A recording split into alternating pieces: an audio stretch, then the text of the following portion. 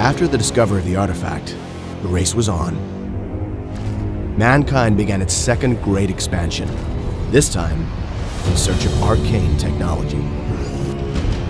In their race for power, a lot of people got in a lot of trouble.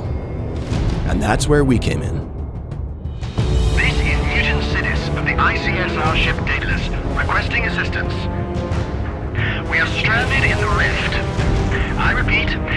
ICSR ship Daedalus. The Rift had gained quite a reputation.